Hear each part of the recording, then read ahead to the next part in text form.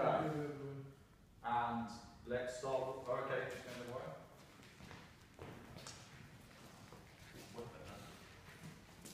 That's good. That's good.